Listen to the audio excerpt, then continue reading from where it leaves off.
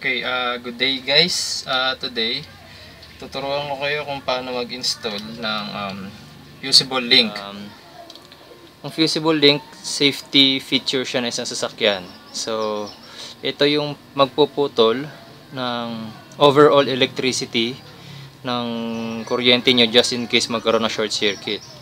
Uh, sa mga inassemble kasi na jeep dito sa atin, uh, kahit nakapatay na yung ignition switch, uh, meron pa rin gumagapang na kuryente. So, sa lahat naman ng sasakyan, ganun.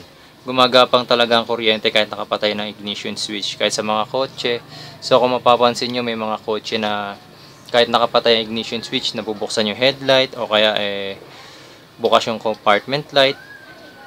Kasi uh, nakadirekta sila sa baterya.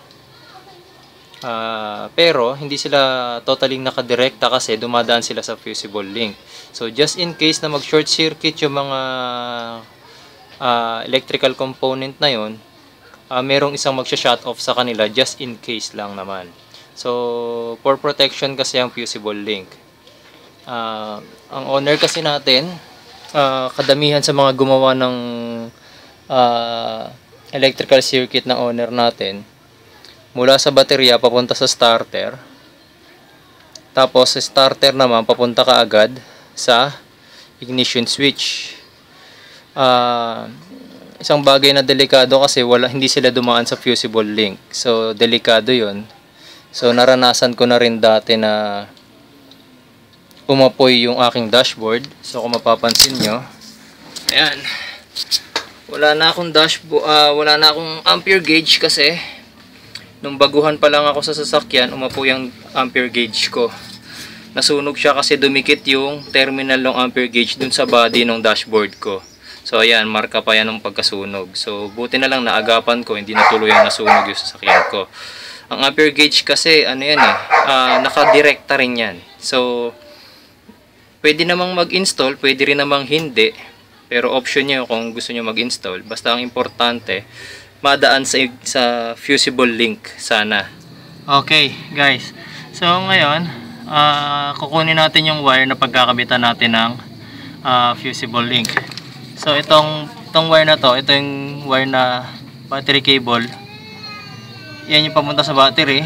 Tapos, itong wire na tong isa, yan yung papunta sa ignition switch. So, dyan natin nagkakabit yung fusible link. So, maglalagay lang tayo ng, magkakabit lang tayo ng bagong wire tapos yung fusible link ilalagay natin doon mismo sa baterya. So, okay guys, so ito natanggal ko na yung wire na papunta sa ignition switch. Uh, dito dumadalo yung kuryente mula dun sa starter. Papunta ngayon sa ignition switch. So dito natin ikakabit yung fusible link. Magkakabit lang muna ako ng wire. So itong puting wire na to. Ito. Kakabit ko lang muna dito. Tapos yung kabilang dulo, ikakabit ko naman doon sa may battery mamaya, sa may fusible link. So, uh, videohan ko na lang ulit mamaya pag naikabit ko na yung wire na to. Okay guys, so ayan. Uh, naikonnecta ko na siya. Ito na yung wire na yan kanina. Ito papunta sa ignition switch. So ito yung wire na puti. Uh, make sure lang na kapag mag install kayo ng mga ganyang wires, lalo na kapag live wire uh, medyo ilayo nyo sa tambucho. So kailangan may iwas nyo yung wire. Ayan. Uh, tapos doon sa taas papakita ko sa inyo kung paano, paano i-install yung fusible link ngayon. So ito na yung karugtong ng wire natin kanina doon sa ilalim. So ikakabit na natin siya ngayon doon sa fusible link. So ito yung fusible link natin. Uh, kukonekta ko na lang siya dito sa battery terminal. Um, dapat mas maganda kung may mabili kayong socket ng fusible link para maganda yung pagkakaayos. Kaso, uh, iniikot ko na yung karamihan sa mga auto supply dito so walang mabiling socket. So, ididirekta ko na lang siya rito ngayon sa aking battery terminal. Just make sure na uh, masikip yung pagkakalagay nyo para hindi matanggal. Tapos, uh, balutin nyo ng electrical tape since positive itong terminal na to. Okay? So, panoorin nyo na lang yung gagawin.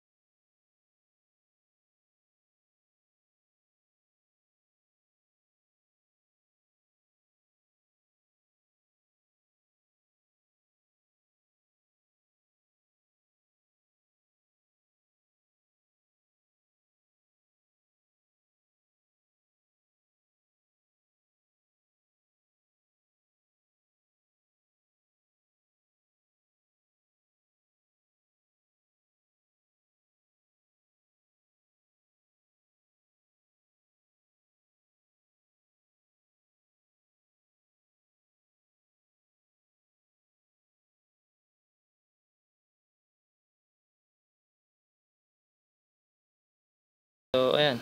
So, nakakabit na yung ating fusible link. So, ah, make sure lang na mabalutan nyo ng electrical tape yung mga nakalabas pa na metal part. For safety purposes lang din.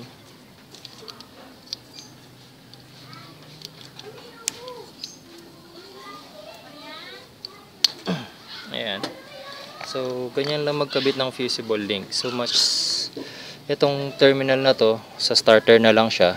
Tapos itong white wire na to, dito naman ngayon yung overall electricity ng sasakyan natin. So just in case may short circuit, uh, puputok lang yung fuse na yan. So, no worries na kayo na masusunog yung sasakyan nyo. Okay, maraming salamat.